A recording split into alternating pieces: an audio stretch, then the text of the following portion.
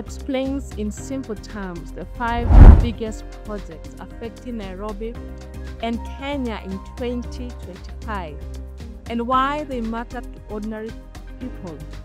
Before we begin, a short note. If you watch these videos often, thank you. Thank you for being here. If you're new, welcome. Today, I will count down from number 5 to number 1. I will explain the basics of each project, who is building it, when it began, how much it cost, how far along it is, the problems it has faced, and what it means for you and the country. I will also show how some projects feed into others, especially around the big sporting events and the push to move people more safely and faster around Nairobi and the country.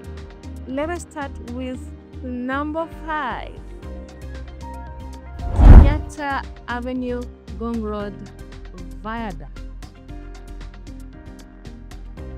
This project is a viaduct along Kenyatta Avenue and the Ngong Road connection in Nairobi.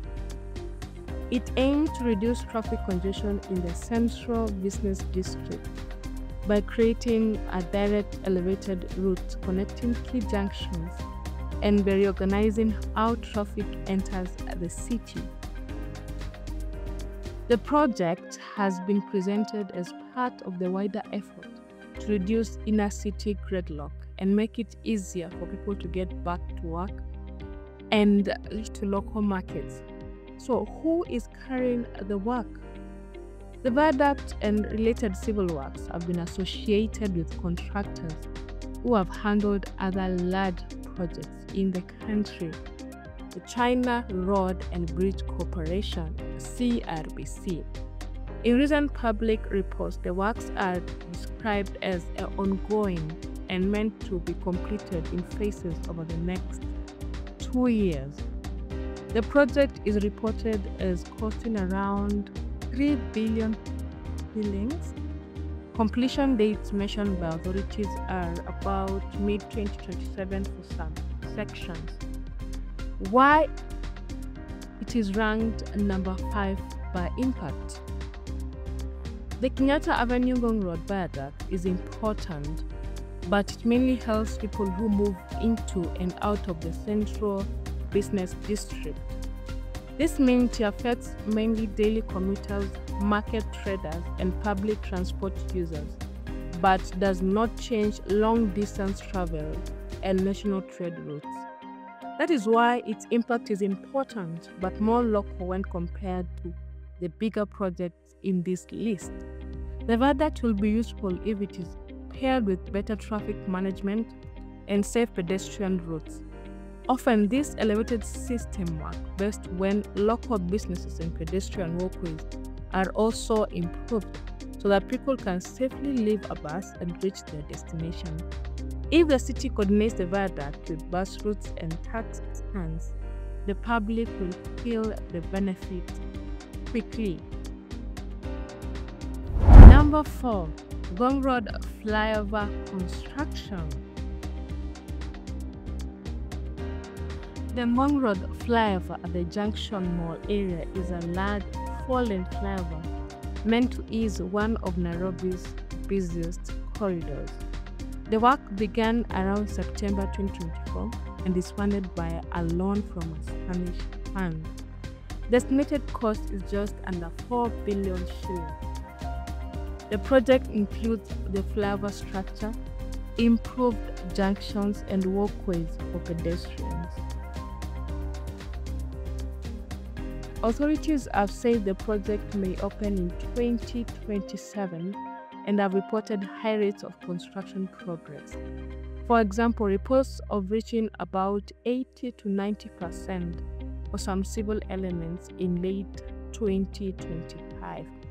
Why it is number 4 by impact. Ngong Road is one of the busiest roads leading to and from Nairobi.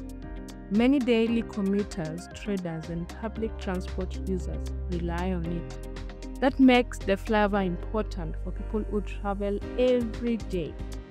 It also ties closely to the Talanta Stadium project and upcoming AFCON event because roads like Ngong Road will carry fans, teams, and traffic during large sports tournaments. Upgrading this corridor will help traffic flow and reduce delays during big events. That link to sport and daily use is why it ranks high on the impact list. The work has caused some local disruptions, such as temporary road closures and changes to bus stops. There are also normal concerns about how well the contractor will finish on time and the costs that come with traffic diversion. But the government and the Kenya Urban Roads Authority have been public about the scope and funding. Number three, Green Park Terminus Pedestrian Underpass. The Green Park Terminus Pedestrian Underpass is a major project near the Haile Selassie Avenue and Uhuru Highway Junction. It is designed as a pedestrian network of about 500 meters that will help allow people to cross a busy junction safely and connect to bus and train services. The project cost is reported about 2 billion shillings, and as of late 2025, officials have said the works are about 97% complete, that it may open soon. Why it is number 3 by impact? This underpass serves tens of thousands of pedestrians every day. For people who walk to work, to markets, to buses, could reduce the risk of accidents and cut the time spent crossing chaotic junctions. It also improves access to public transport hubs and supports other projects that move people around the city. Even though the underpass is almost complete, there have been serious criticisms. Some lawmakers and civil society members have raised concerns about the design. They have pointed to small lip sizes, lack of proper ramps for people with disabilities, and questions about safety and lighting once the underpass opens. Parliamentary committees even halted the commissioning at a point to demand changes and improvement. It People also point to past underpasses and some flyovers like the UON underpass that did not receive constant maintenance, which later fell into disuse or insecurity. These examples show that a project can be built and still fail to meet public expectations if there are no follow up on maintenance and security. That context is important because a well built underpass can deliver huge benefits, but a poorly managed one can be a public disappointment. If the Green Park underpass opens and it is managed well, daily life for many will improve. People will cross the road safely, children will get to school with less risk, and commuters will move faster between transport modes. But the concerns about design and security are real. The lessons from past projects must be applied so that the space stays clean, safe, and truly useful for everyone. Number two, Talanta Stadium construction. Talanta Stadium is a new large stadium being built as part of Kenya's preparation to host the Africa Cup of Nations in 2027. It's being built as part of a broader Talanta Sports City concept that includes training grounds and supporting facilities. The project is large both in scale and cost. Funding for the stadium has used innovative financing approaches, including an infrastructure asset backed security listed on the Nairobi Securities Exchange, and other funding instruments. Reports show the project raised a significant amount, over 44 billion shillings, in structured finance. And in late 2027, the works were reported to be about 61% complete, with major structural works largely done. The stadium is expected to host thousands of fans and to be one of the venues for the AFCON 2027 matches. While it is number two by import, sporting events have a unique power to deliver short term and long term benefit. For AFCON 2027, large crowds will travel to and use the stadium. That means roads, public transport, and nearby services will be tested and upgraded. Talanta Stadium is not only a venue for matches, it is a reason to improve surrounding transport, security, and hospitality services. In that way, it becomes a driver of broader infrastructure change, not only a facility for sports. Talanta plans are linked to other national efforts.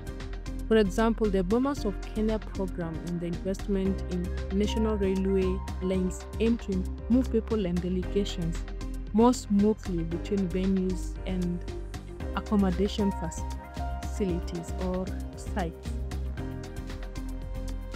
The stadium is expected to benefit from improved rail and road links that are planned or being discussed to ensure fans can travel quickly to matches. When Talanta opens and when the transport links are working, the benefit will be limited to match days. The stadium can create jobs, attract events, and support local businesses for years. The stadium construction has moved fast relative to its size, and the government has been keen to show progress ahead of AFCON deadline.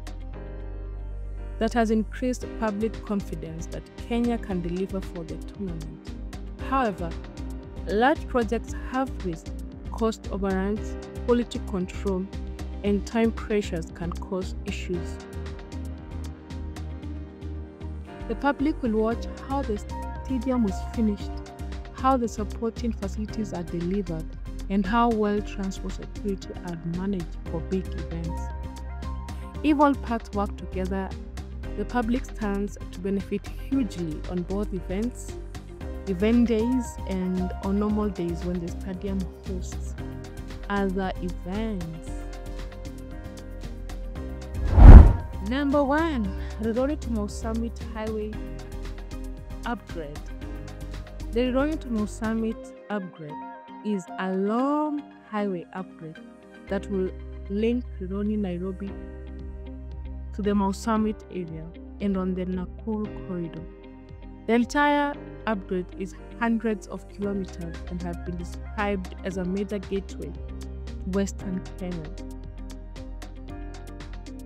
The project was highlighted in late 2025 and is estimated at a very large scale with figures such as 170 billion shillings mentioned as the project value in some reports. The update seeks to improve safety, reduce travel times, and open up palm and trade areas for faster movement of goods.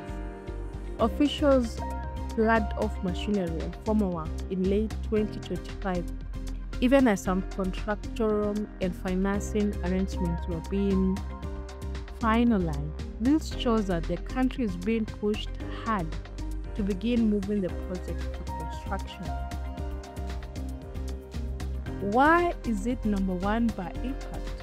This highway will affect many people than any single local road or stadium. It will open new markets for farmers, speed cargo movement between Nairobi and the western and northern regions, and reduce cost of businesses that rely on road freight. Because it connects a major agricultural and urban hub, it supports job creation, lowers the price of goods, and improves access to services.